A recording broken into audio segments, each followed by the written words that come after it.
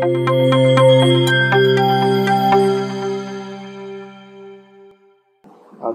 dear students. I hope all of you will be fine. Uh, आज आपका week number ten है uh, और हम बात करेंगे बाईपोलर जंक्शन ट्रांजिस्टर के बारे में कि बाईपोलर जंक्शन ट्रांजिस्टर क्या चीज़ होती हैं इनकी कंस्ट्रक्शन क्या है uh, कैसे काम करते हैं इन सब के बारे में आज हम पढ़ेंगे आज की uh, आज के लेक्चर वीडियो को उर्दू लैंग्वेज में रिकॉर्ड करने का मकसद ये है कि कुछ दिन पहले मुझे कुछ स्टूडेंट्स की रिक्वेस्ट आई कि अगर मैं ये रिकॉर्डिंग जो है वो उर्दू में कर लूँ तो उनको सीखने में इस चीज़ को समझने में बहुत आसानी होगी। तो इसलिए ये एक टेस्ट लेक्चर है जिसमें मैं Urdu as a language use कर रहा हूँ। अगर आपको उर्दू लैंग्वेज को सीखने में फिर भी कोई इशू हो आप मुझे बता सकते हैं। मैं दोबारा इंग्लिश लैंग्वेज यूज़ कर दूँगा। तो आज हम बात कर लेते हैं ट्रांजिस्टर बायपोलर जंक्शन ट्रांजिस्टर के बारे में। बायपोलर जंक्शन ट्रांजिस्टर के बारे में हम इस दफ़ा ऐसे बात करेंगे सबसे पहले हम देखेंगे कि इनकी कंस्ट्रक्शन कैसी है, फिर उसके ऑपरेशन के बारे में बात करेंगे और फिर उसके बाद हम आखिर में इसके टाइप देखेंगे और इसके डिफरेंट ऑपरेशंस के बारे में भी देखेंगे।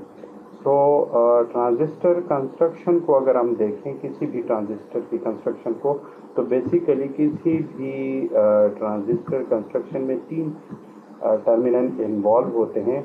एक को कहा जाता है इमेटर एक को कहा जाता है बेस और एक को कहा जाता है कलेक्टर ओके एमेटर हम इस तरह कह सकते हैं कि एमेटर एक ऐसा टर्मिनल होता है कि जो एमिट करता है इलेक्ट्रॉन्स को। या होल्स को। ये एक बहुत बड़ा ज़ख़ीरा होता है या रिजर्वायर होता है, जिसके पास बहुत ज़्यादा क्वांटिटी में इलेक्ट्रॉन्स मौजूद होते हैं। कलेक्टर एक ऐसा रीजन होता है, हम सबसे पहले बात कर लेते हैं एमेटर की। फिर हम बात कर लेते हैं कलेक्टर की, और आखिर में हम बात कर लेते हैं बेस ओके सो एमिटर में आपके पास एमिटर एक रिजर्वायर के तौर पे काम करता है जिसमें बहुत ज़्यादा इलेक्ट्रॉन्स होते हैं। कलेक्टर इन इलेक्ट्रॉन्स को कलेक्ट करने का एक सोर्स होता है जबकि बेस ये ये जो है एमिटर वो एमिट करता है कलेक्टर रिसीव करता है। बेस इनके दरमियान एक ऐसा टर्मिनल होता है कि जो इस एमिशन और कलेक्शन को कंट्रोल करता है ओके आ, इसके एक एग्जांपल ले लेते हैं। लेट से आप इसकी एग्जांपल में ले लें एक नलकी को, जिसमें से पानी आ रहा हो, ठीक है? ये एक टैप है, या नलका है, यहाँ से आपके पास इनपुट आ रही होती है, यहाँ से आपके पास आउटपुट आ रही होती है, ठीक है जी? और इस इनपुट आउटपुट को कंट्रोल करने के लिए इसके ऊपर जो ये टर्मिनल होता है, ये वाला, ये कंट्रोल करता है। ये इस नॉब को आप इसे नॉब भी कह सकते हैं। आप इसे जितना ज़्यादा करते रहेंगे, यहाँ पे आउटपुट क्वांटिटी आपके पास उतनी ज़्यादा आती रहेगी और आपको ऐसा लगेगा कि इनपुट क्वांटिटी डिफरेंट है। तो इस इमिशन को हम एज एमिटर कह सकते हैं। इस यहाँ से जहाँ से कलेक्शन हो रही है, यहाँ आपने कोई भी टब रखा होगा या ग्लास पड़ा होगा, वहाँ पे आपके पास कलेक्शन हो रही होगी इस पानी की। और ये जो नॉब है, इसे आप कह सकते हैं बेस ठीक है जी। तो एमिटर यहाँ से कलेक्शन होती है और बेस जो है, ये नॉब होती है। सिमिलरली इसी तरह जब आप ट्रांजिस्टर की बात करते हैं तो ट्रांजिस्टर में भी तीन टर्मिनल्स होते हैं एमिटर कलेक्टर और बेस अब एमिटर से आ रहा होता है करंट कलेक्टर पे हो रहा होता है रिसीव जबकि इस ज़्यादा, इन करंट को ज़्यादा या कम करने का जो काम होता है वो होता है इस बेस के पास, ठीक है?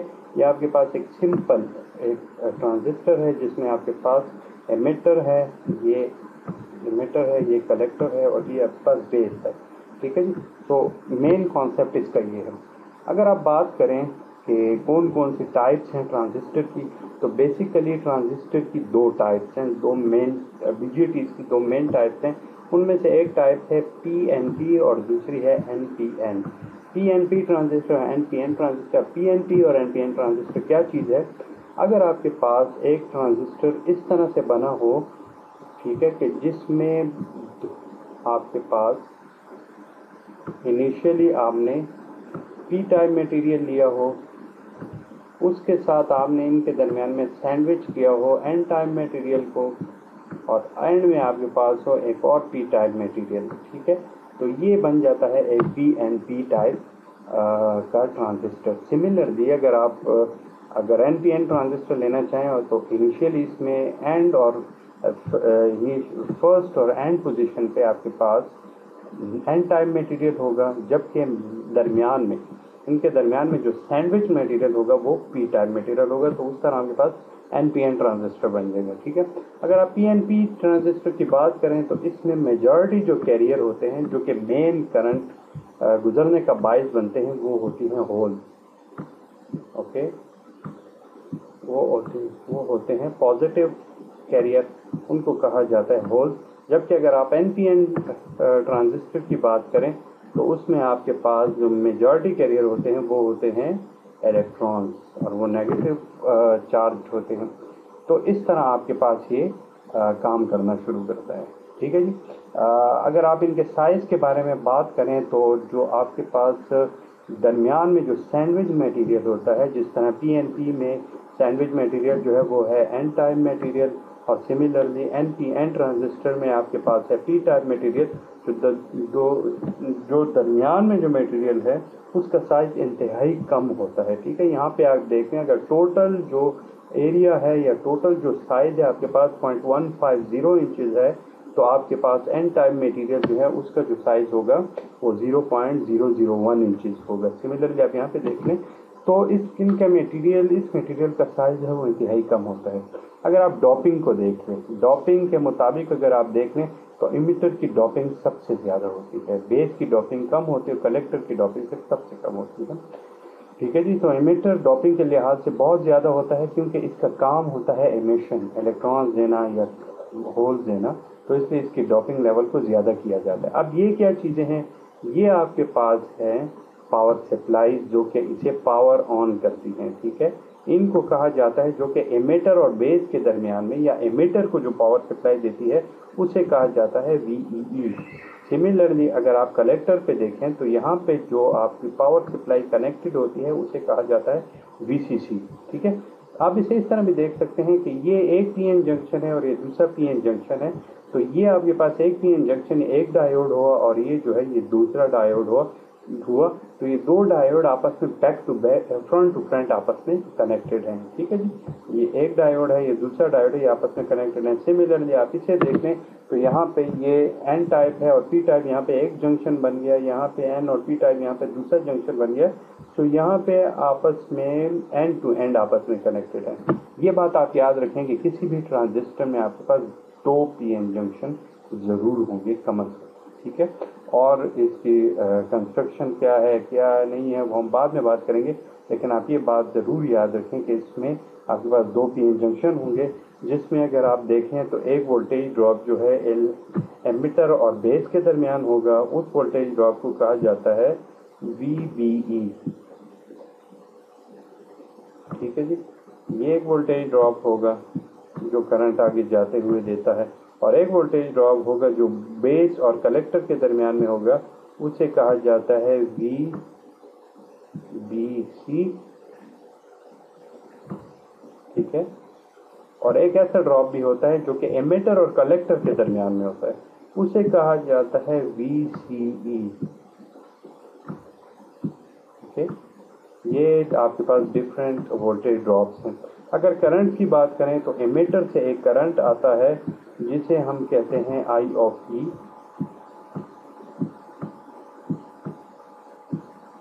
आई ई जब आप इसे पावर ऑन करते हैं तो आई ई मूव करना शुरू करता है।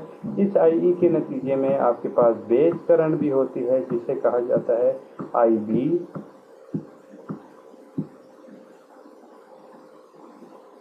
और इसके नतीजे में यहाँ आउटपुट के ऊपर कलेक्टर करंट भी मूव करती है, जिसे कहा जाता है आई ऑफ़ सी ठीक है जी? सो so, ये बात याद रखें यहाँ पे कि आपके पास जो ये आई सी होती है किसी भी ट्रांजिस्टर के अंदर आई सी हमेशा बराबर होती है। अगर आप कोई भी ट्रांजिस्टर लें तो आई सी हमेशा बराबर होती है। I C plus I B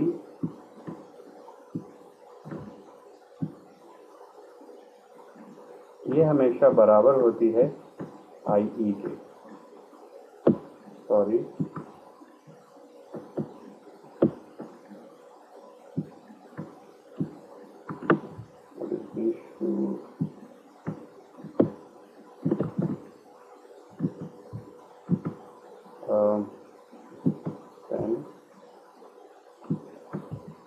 यहाँ देख लेते हैं। आई सी हमेशा बराबर आई ई e हमेशा बराबर होती है। हम लिख लेते हैं। आई ई e हम या इस तरह कर देते हैं, यहाँ से भी रिमूव करके यहाँ पर लिख लेते हैं। आई ई e हमेशा बराबर होती है। आई ई हमेशा बराबर होती है करंट जो रिमूव करे है। I C plus I B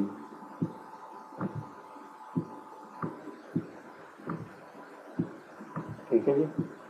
basically आपके पास uh, जो आई ई करंट है वो टोटल करंट है जो कि इनवर्ड मूव कर रही है। इस करंट की वजह से एक करंट जो होगी बेस में जो कि यहाँ पे आ रही है और दूसरी करंट आई सी यहाँ पे जा रही है। तो टोटल करंट एक किसी भी स्ट्रीम में यहाँ से आ रही है जो कि दो डिवाइड कर रही है आपस में। तो आई ई बराबर होगी आई सी प्लस आई बी के। ये बात आप हमेशा याद रखें कि किसी भी ट्रांजिस्टर कंफिग्रेशन में ये चीज़ मस्ट होगी जिसे टू होना होता है। इसके अलावा ये चीज़ फिर आगे और जगह पे आती है। सो हम इससे आगे चलते हैं और इसकी कंस्ट्रक्शन के बारे में बात करते हैं कि क्या है और क्या नहीं है। Okay so this is the transistor operation हमने डिफरेंट वोल्टेजेस के बारे में और डिफरेंट करंट कंस्ट्रक्शन के बारे में बात की। आपके पास यहाँ पे जिस तरह लिखा हुआ है कि एक्सटर्नल वोल्टेज सोर्सेज जो होती हैं वो दो होती हैं। हमने लास्ट टाइम भी डिस्कस किया और वो होती हैं वी e और वी वी कौन सी वोल्टेज होती है? वी e वो वोल्टेज होती है जो कि आपके एमेटर को सप्लाई फराहम करती है। ठीक है जी? इनपुट के ऊपर जो आपकी पॉजिटिव जो इनपुट के ऊपर आपकी वोल्टेज जो सप्लाई कनेक्टेड होती है वो वी e कहलाती है, जबकि आउटपुट के ऊपर जो वोल्टेज सप्लाई कनेक्टेड होती है, उसे वीसीसी कहते हैं। वीसीसी से क्यों कहते हैं? इसलिए कि ये कलेक्टर को सप्लाई फराहम करती है, ठीक है?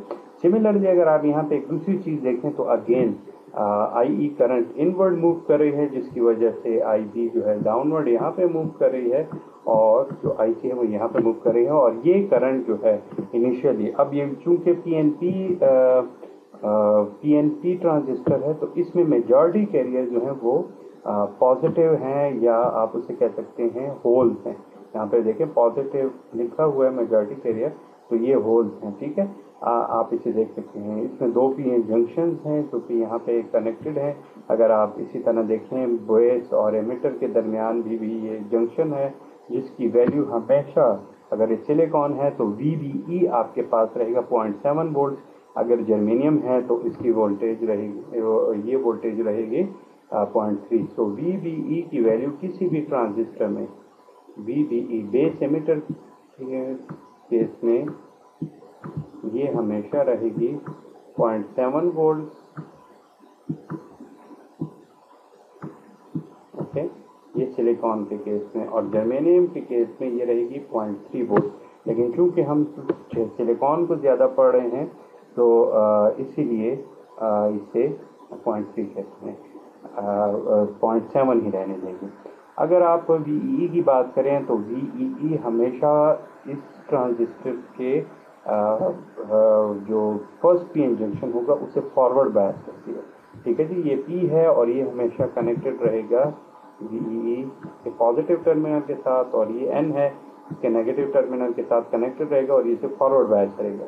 सिमिलरली अगर आप पी पी को देखें जो पॉजिटिव टर्मिनल है तो वी सी सी उसे क्या करती है? आउटपुट जो टर्मिनल है, उससे ये रिवर्स बायस करती है। यहाँ से अगर आप देखें तो पी है, वो नेगेटिव टर्मिनल के साथ कनेक्टेड है, जबकि ये पॉजिटिव टर्मिनल के साथ कनेक्टेड है। और ये जो टर्मिनल है, ये आपके पास ग्राउंडेड रहता है। ठीक है?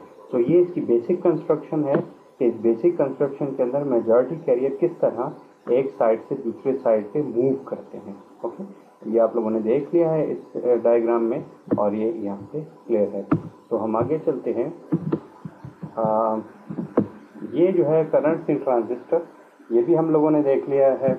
आ, मैंने आपको पहली ही स्लाइड में ये सब कुछ बता दिया था कि इसमें तीन करंट्स होती हैं आई ई आई सी और आई बी और हमेशा आई ई जो है वो इनपुट करंट होती है आई सी आउटपुट होती है और बेस करंट जो होती है ये कंट्रोल एलिमेंट में होती है। अब अगर एन पी एन ट्रांजिस्टर की बात करें तो एन पी ट्रांजिस्टर में करंट की मूवमेंट इसी तरह होती है। इनकी रिवर्स डायरेक्शन इस वजह से है क्योंकि ये आपको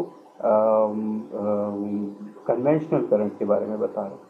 अगर आप कन्वेंशनल करंट के बारे में देखेंगे तो कन्वेंशनल करंट हमेशा पॉजिटिव या होल्स की फॉर्म में होता है और ये रिवर्स डायरेक्शन में जाता है इलेक्ट्रॉन्स से अगर आप कलेक्टर करंट को देख अगर आप यहाँ पे कलेक्टर करंट को देखें तो कलेक्टर करंट आपके पास कहीं भी मेजॉरिटी और माइनॉरिटी कैरियर दोनों से मिलकर बना होता है। हम इसके बारे में बाद में बात करेंगे, अभी इसे ज़्यादा छेड़ने की ज़रूरत नहीं है। कंफ्यूजन क्रिएट हो जाएगी, हम इसके बारे में बाद में बात करेंगे। तो अगर आप एमेटर का टोटल इसके बारे में करंट्स के बारे में बात करें तो ये रिलेशन आपके पास बहुत इम्पोर्टेंट है। ठीक है? ये रिलेशन आपके पास बहुत ज़्यादा इंपॉर्टेंट है और इस रिलेशन की बेसिस पे हम सब देख सकते हैं और ये हम लोग डिस्कस कर चुके हैं। तो आगे चलते हैं। कॉमन सबसे पहली जो कन्फिग्रेशन है, किसी भी ट्रांजिस्टर में, उसे हम कहते हैं कॉमन बेस कन्फिग्रेशन अब कॉमन बेस कन्फिग्रेशन में होता क्या है? कॉमन बेस कन्फिग्रेशन में इनपुट और आउटपुट में आपके पास बेस जो है वो कॉमन होती है ओके किस तरह बेस कॉमन होती है? यहाँ पे अगर आप देखें, इस डायग्राम में तो आप इनपुट अप्लाई कर रहे हैं एमिटर के ऊपर और आउटपुट आपको मिल रही है कलेक्टर के ऊपर।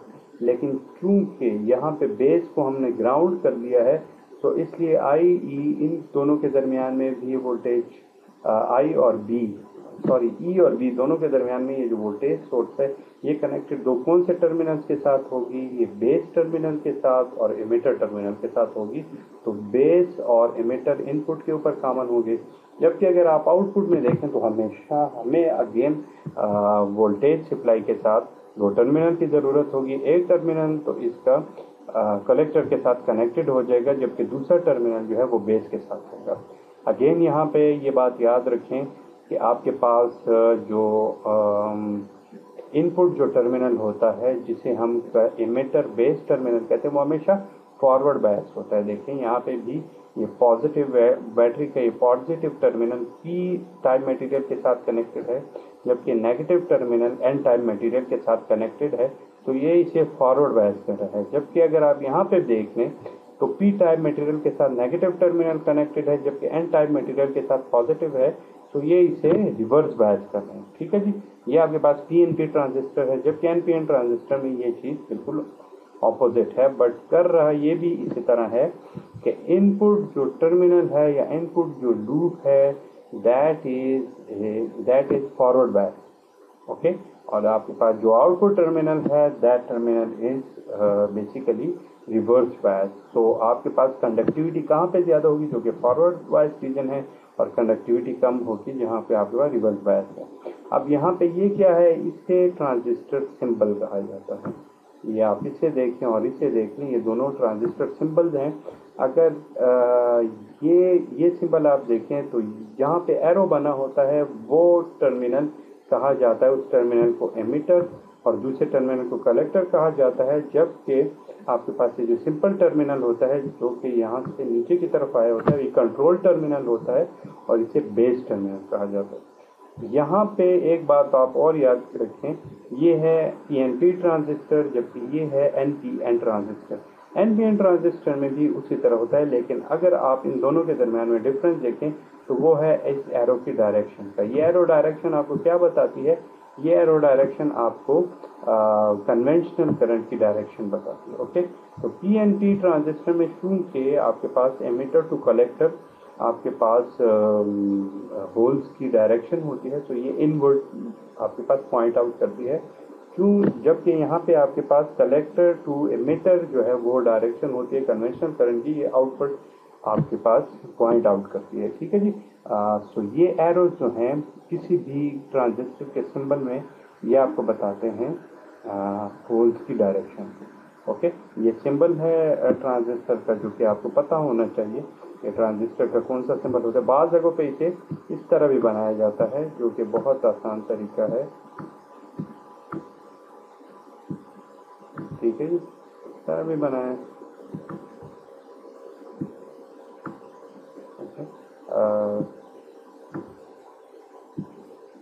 तो अगेन यहाँ पे एरो है तो ये है आपके पास इमेटर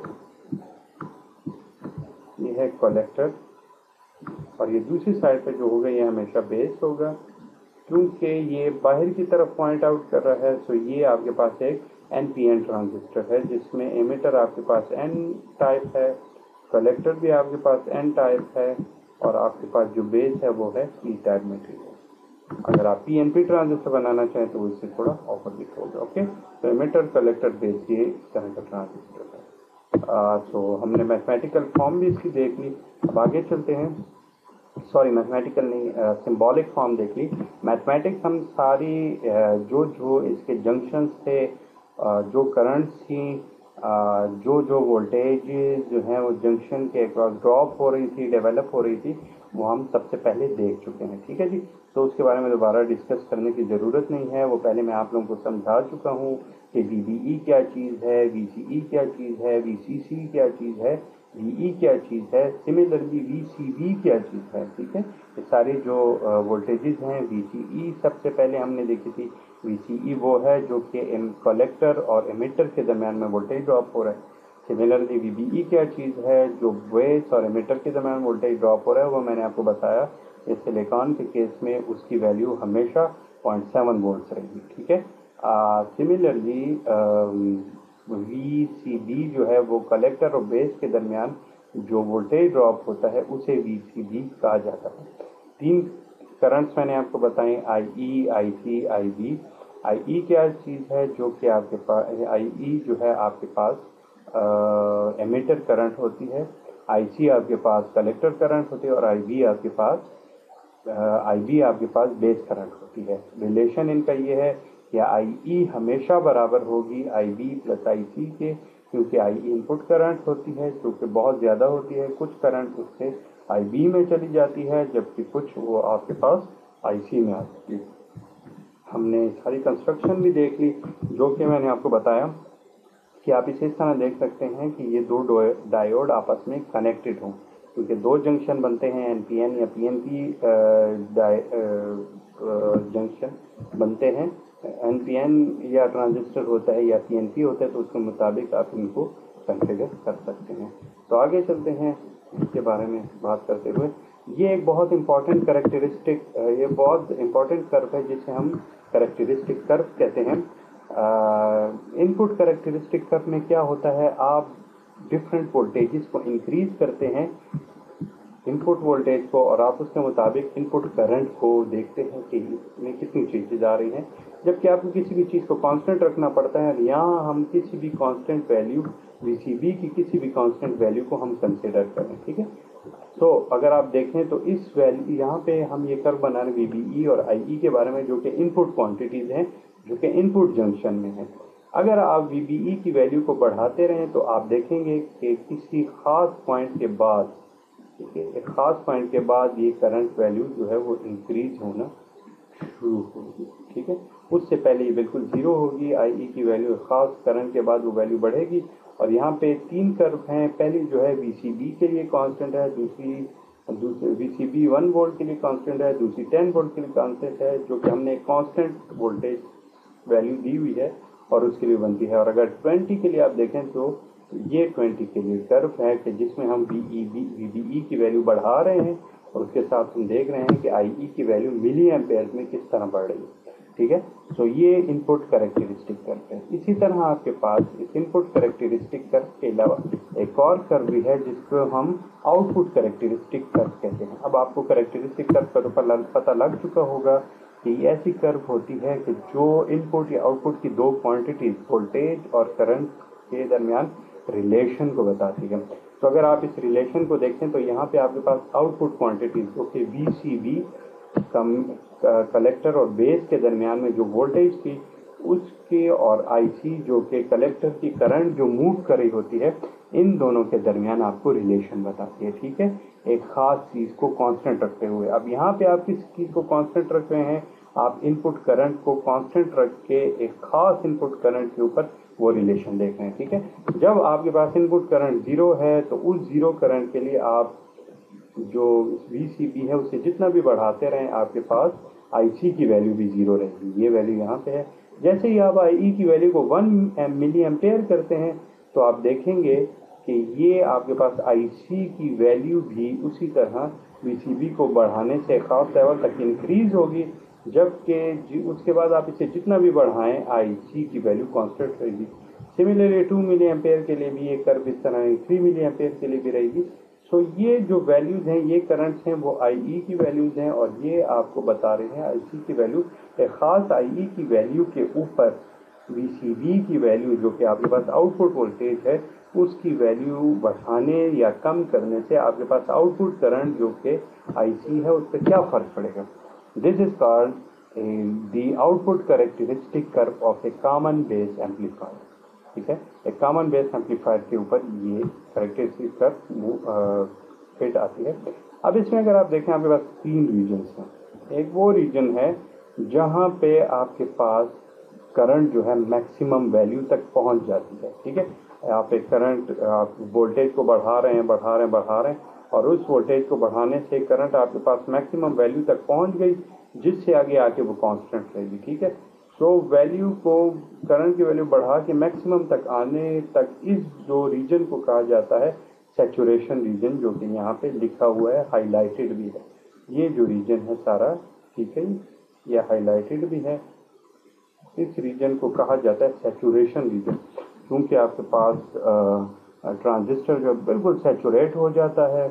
उसकी वैल्यू जो है इंक्रीज हो जाती है। फुली उससे ज़्यादा इंक्रीज नहीं हो सकती करंट की वैल्यू तो इसे आप सेचुरेशन रीजन कहते हैं। जब आपके पास ये सेचुरेशन रीजन पे आ जाता है, उसके बाद ये सारी वैल्यूज़ की कांस्टेंट हो जाती हैं आईसी की वैल्यू सेचुरेशन के बाद क्योंकि और वैल्यूज़ की इंक्रीज नहीं हो सकती। आप पीसीबी को जितना बढ़ाएँ तो इस रीजन को जो अनशेडेड रीजन है, उसे कहा जाता है एक्टिव रीजन ठीक है? ज़्यादातर हमें जो ट्रांजिस्टर है, उससे ऑपरेट करवाना होता है इस एक्टिव रीजन में। ठीक है जी? जब ट्रांजिस्टर आपके पास एज एन एम्पलीफायर काम करेगा तो आपने उसे एक्टिव रीजन में काम करवाना करवाना होगा, ठीक है? तो ये आपके पास वो रीजन है जहाँ पे आपके पास ट्रांजिस्टर बिल्कुल एक कांस्टेंट पोजीशन पे होता है, एक एक्टिव पोजीशन पे होता है। इसके अलावा एक एक और पोजीशन है जिसमें मैंने आपको सबसे पहले यहाँ बताया था कि जब आपके पास आई ई की वैल्यू ज़ीरो है, ठीक है? इनिशियली आपके पास आई ई की वैल्यू ज़ीरो है इनपुट बिल्कुल ज़ीरो आ रही है तो आपको, आपके पास क्या हो गया आप करंट आप वोल्टेज को जितना बढ़ाते रहें, आपके पास तो आउटपुट भी ज़ीरो ही रहेगी। आउटपुट करंट आपके पास ज़ीरो रहेगी। इस रीजन को कहा जाता है कट ऑफ़ रीजन ठीक है? ये यहाँ पे शेडेड है। ये कट ऑफ़ रीजन यहाँ पे शेड कर दी गई है और इसे कहा जाता है कट ऑफ़ रीजन और कट ऑफ़ रीजन एक ऐसा रीजन होता है जहाँ पे आपके पास ट्रांजिस्टर ऑलमोस्ट ऑफ़ होता है क्योंकि इसकी आउटपुट करंट आपके पास ज़ीरो आ रही होती है, ठीक है जी? तो कॉमन बेस एम्पलीफायर या किसी भी एम्पलीफायर में आपके पास तीन रीजन होते हैं saturation region cut off region और एक्टिव रीजन एक्टिव रीजन आपके पास काम करता है कॉमन एम्पलीफायर के तौर पर। जब आपने किसी भी ट्रांजिस्टर किसी भी ट्रांजिस्टर से आप दो काम ले सकते हैं। या उसे आप एज एन एम्पलीफायर यूज़ करवाएँगे, या एज ए स्विच यूज़ करवाएँगे। ठीक है? स्विच क्या काम करता है? स्विच आपके पास घरों में जैसा स्विच है, वो किसी भी चीज़ को ऑन या ऑफ़ करने के लिए यूज़ होता है। तो जब भी कोई स्विच के तौर पे इसे यूज़ करवाएँगे तो ऑन का मतलब है कि मैक्सिमम करंट मीन्स वो ट्रांजिस्टर सेचुरेशन रीजन में हो। ऑफ़ का मतलब कट ऑफ़ रीजन में हो, कि वो बिल्कुल ज़ीरो आपके पास, आपको कोई करंट ना दे। तो ये एक स्विच के काम होता है जो कि आपको ये काम करके देता है। तो आप किसी भी ट्रांजिस्टर से ये काम इस तरह ले सकते हैं कि आप अगर उसे स्विच के तौर पे यूज़ कर रहे हैं तो उसे आप सेचुरेशन रीजन और कट ऑफ़ रीजन में उससे काम ले सकते हैं। ठीक है जी? इसके अलावा वो फिर अगर आप उसे एम्पलीफायर के तौर पे लगा रहे हैं तो एम्पलीफायर के तौर पे लगाने के लिए आपने उसे एक्टिव आपको उसे एक्टिव रीजन में रखना होगा। तो ये तीन रीजन्स थे जो कि ना सिर्फ़ कामन बेस एम्पलीफायर में जबकि आगे हम जाएँगे कामन एमीटर में कामन कलेक्टर में ठीक है? तो वहाँ भी हम इनके यूज़ देखेंगे। आ, इस कोर्स में हम देखेंगे कि ज़्यादातर इस कोर्स में हम देखेंगे कि ज़्यादातर हम यूज़ कर हैं कामन कामन एमीटर एम्पलीफायर उसके बहुत सारे फ़ायदे हैं जो कि हम बाद में डिस्कस करेंगे। सो आगे चलते हैं और हम देखते हैं कि क्या आ, और क्या है।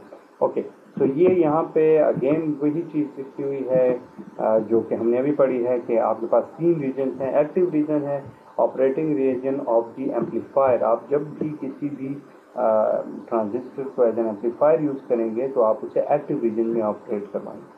Cut off amplifier is basically off there is voltage but little current क्यों लिटल करंट क्योंकि इनपुट पे कोई करंट आ नहीं होती। ये लिटल करंट भी जो होती है, ये लीकेज करंट होती है, या जो रिवर्स करंट आ रही होती है, ये वो करंट होती है। Saturation amplifier is full on ठीक है? सेचुरेट हो चुका है। एम्पलीफायर बिल्कुल सेचुरेटेड रीजन में है। उसमें जो है आ, बिल्कुल उसकी वैल्यू जो है वो मैक्सिमम पे है सेचुरेशन में। सो उससे ज़्यादा नहीं हो सकती तो इसलिए इसे सेचुरेशन रीजन कहते हैं।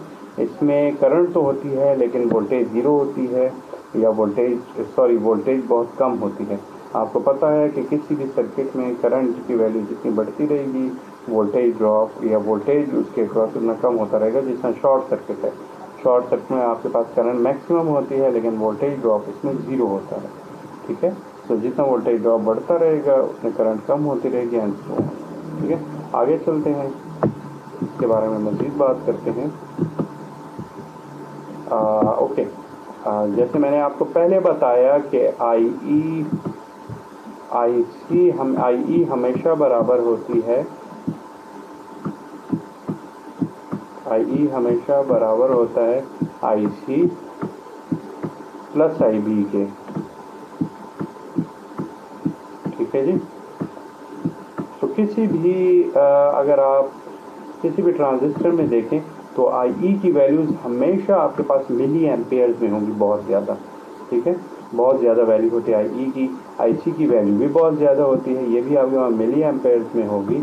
जबकि आप अगर आई बी की बात करें तो आई बी की वैल्यू आपके पास माइक्रो एम्पेयर्स में या नैनो एम्पेयर्स में होगी। ज़्यादातर ये माइक्रो एम्पेयर्स में होती है, जो कि बहुत ज़्यादा कम है। ठीक है? इतनी कम वैल्यू को हम नेगलेक्ट भी कर सकते हैं और हम इसे ज़ीरो कर सकते हैं। जब आप इसे ज़ीरो करेंगे तो ये आपके पास आई ई की वैल्यू ऑलमोस्ट ऑलमोस्ट बराबर होती है आई सी के। ठीक है जी?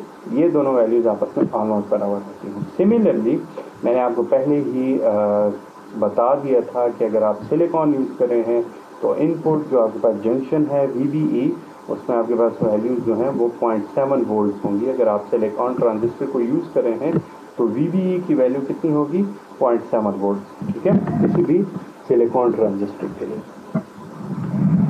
ये वैल्यू आपके पास एक कांस्टेंट वैल्यू होगी जो कि पॉइंट सेवन है। अगर आप जर्मेनियम यूज़ करें हैं या कोई और मटेरियल यूज़ करें हैं तो उसके लिए वैल्यूज़ उसी तरह बढ़ती रहेंगी या चेंज होते रहेंगी। ठीक है जी? आगे चलते हैं। अच्छा बीजेटीज़ में जब आप बीजेटी की जब आप बात करते हैं तो इसमें डिफरेंट रेशोज़ आते हैं। ठीक है? इसमें सबसे इंपॉर्टेंट जो रेशो है, वो अल्फ़ा और बीटा कहलाता है। ठीक है? मेरे ख्याल में इस लेक्चर को यहीं पे रोक देते हैं और ये सारी बातें हम नेक्स्ट वीडियो में कर देते हैं क्योंकि ये अपलोडिंग में थोड़ा इशू आना शुरू हो जाता है। इसलिए मैं यहीं पे रोक रहा हूँ और बाकी बातें मैं नेक्स्ट वीडियो में कर लेता हूँ। ठीक है? नेक्स्ट वीडियो में मिलते हैं। ओके जी, अल्लाह हाफिज़।